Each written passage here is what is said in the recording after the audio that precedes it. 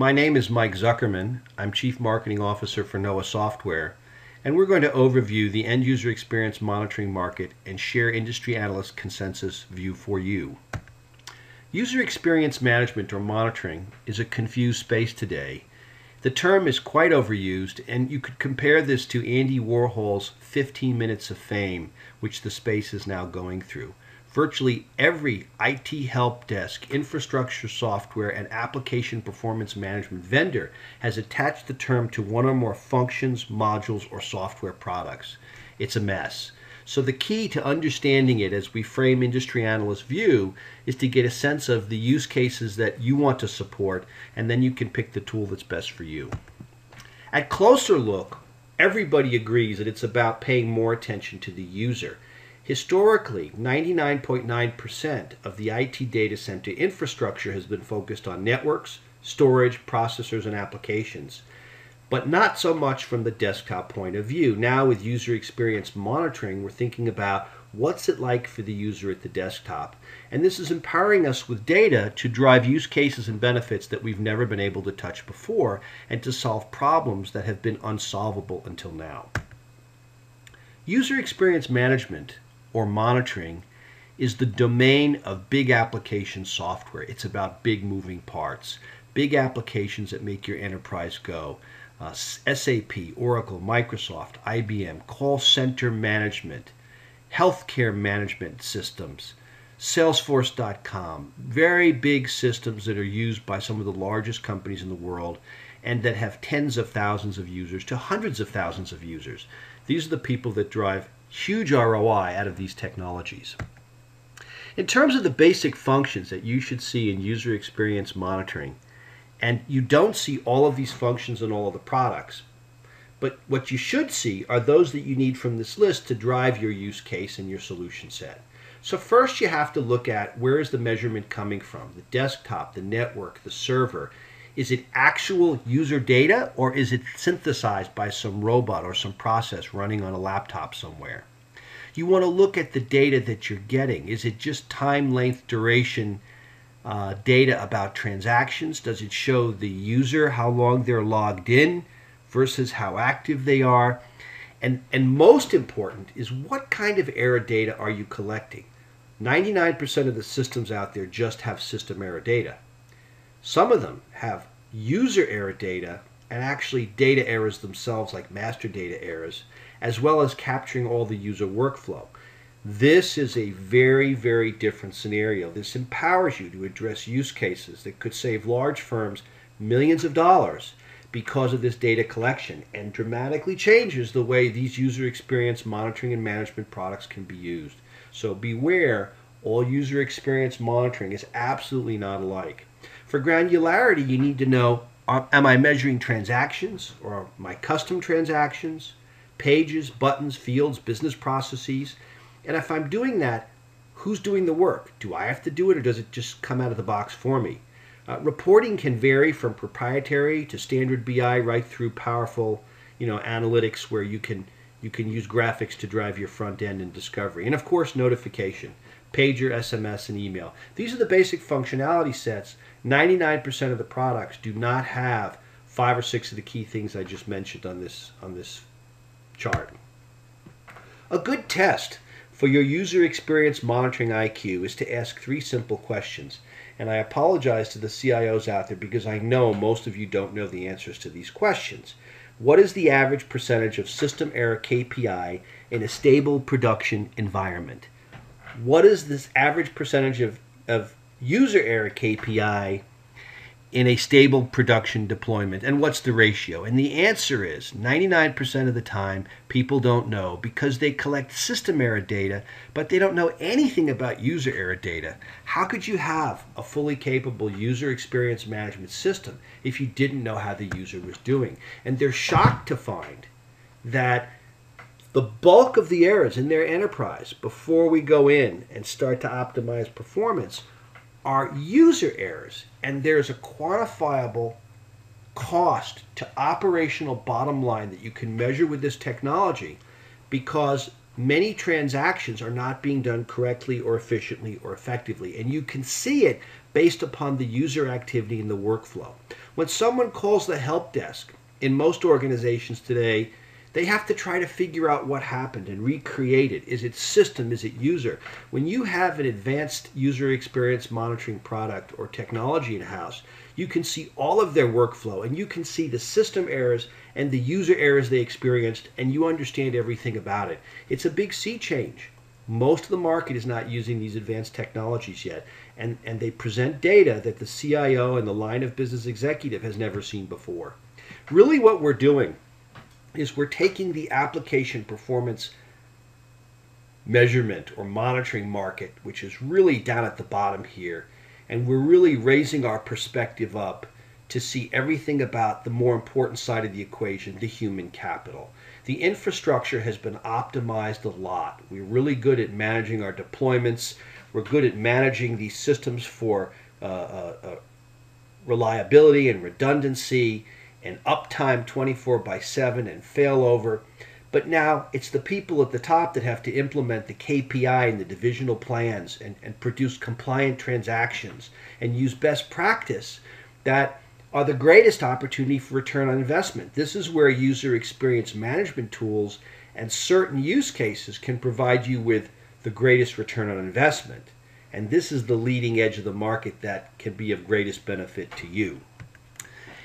If you look at product architecture, not the architecture of the apps we're going to monitor and the people that will use them, but the product, there's really three places that will capture data about the user. Very basic primitive systems capture some HTTP stream or something at a server location and try to quantify the performance of the system that way. Other technologies put a synthetic uh, transaction or robot perhaps on a desktop across a network and try to monitor uh, uh, transactions and capabilities from there. They try to see really if there's a failure or there's a big change in performance, and they can notify the IT team. True user experience management happens at the desktop with a desktop agent. And you know that's how you know what the real mobile end user or the real desktop end user is doing. It, it works through virtualizations like Citrix. It works online and offline. A lot of Siebel users. There's there's hundreds and hundreds of thousands of these users still out there, and, and they do work offline. And it's it's on premise today, but it agent is architected for cloud tomorrow, because unless you have an agent based architecture, it's just very hard to implement it correctly or in a useful way. So those are the architectures of the product. In terms of the product implementation model, you've really got to take a close look at what they give you. So, claimed capability and delivered capability are 99 miles apart in this market space for user experience monitoring. Most of the vendors give you a tool and say, have at it, go script it yourself, good luck, there are those transactions, go get them. And I can tell you that for big applications like SAP, if you looked at SAP portal and GUI supported apps, uh, if you looked at ERP and financials and HR and SAP CRM, and you looked at SAP business objects and you said, I want to know all about those things, right? Um, you're going to be uh, building out scripts for over 100 people years if you ever get it done. And that assumes you, you know those domains, you know what to do. When vendors give you automated framework mapping, all that stuff comes out of the box. It's all done. Even your custom transactions that use SAP standard framework just fall right in. So scripted tools don't do that. Scripted templates that you have to modify don't do that. It's a huge difference. And without that capability, you can never get to probably 10 of the major use cases that will deliver high value. So automation out of the box is super important. 95% of the tools don't do it. Reporting is also super important. Are you using standard BI and navigable analytics, or are you using a proprietary report, or are you just getting an interface where you're told to go figure it out yourself? Again, this dramatically affects your ROI and the time frame in which you can get productive. Applications and architecture supported uh, really are about the major enterprise apps, the big iron that's impacting your ability to do business. You know, I met the CEO of a $5 billion company, and he has 18,000 users on SAP, And those 18,000 users are the lifeblood of his company's ability to, to, to, for that business to function, right? And these are the big apps. In a typical enterprise, there are 500 to 800 applications and 5 to 10 major applications that get 99% of the IT expenditures. And that's really where the ROI and benefit is. Scripted tools are useful if you've got an obscure custom application or something that's only being used by 10 people because then you can instrument it and, and move on. But your big ROI for your thousands of users is an SAP, Oracle, Microsoft, Salesforce, online healthcare systems, call center systems, you know, applications like that are used by thousands of users, and you've got to support them whether their architecture is on premise or in the cloud. In terms of presentation layer, this is kind of where the rubber hits the road. You've done all this work, you've picked a product, you're expecting this data, but you need to have the data presented in a useful format for it to be actionable, right?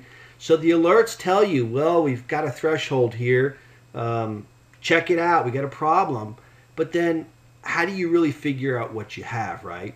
If you buy standard reports in a proprietary interface and you need anything different from that vendor, the vendor has a problem, which is scheduling. They have to stop some activity to build a special report for you.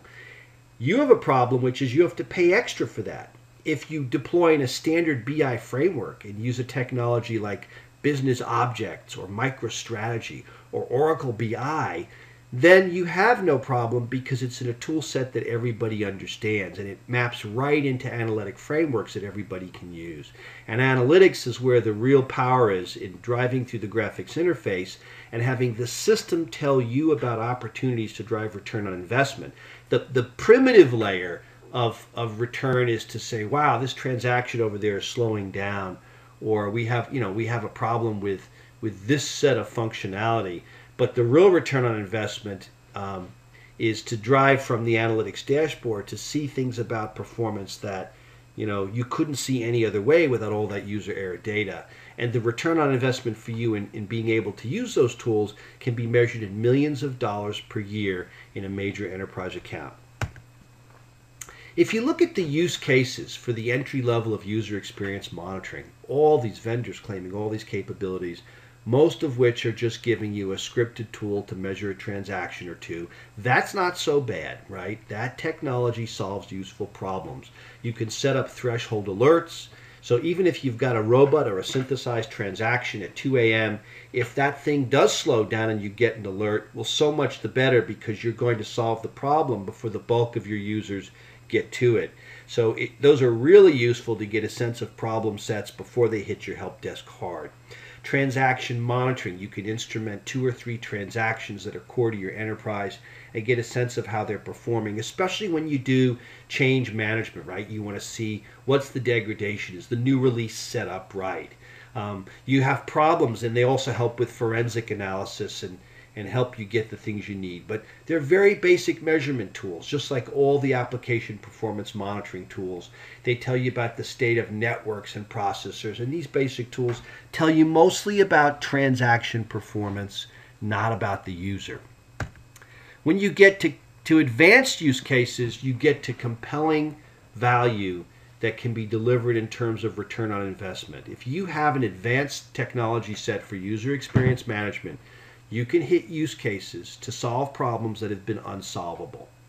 Roughly, you see four big solution sets help desk and functional support, application support, training and education, and line of business.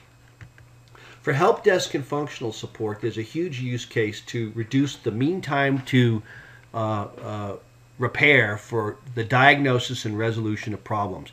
Everything about user error and system error is there. And if someone calls your help desk, there's no more interrogation. You know what you need to know to, to take it right to functional support if required to get the problem resolved.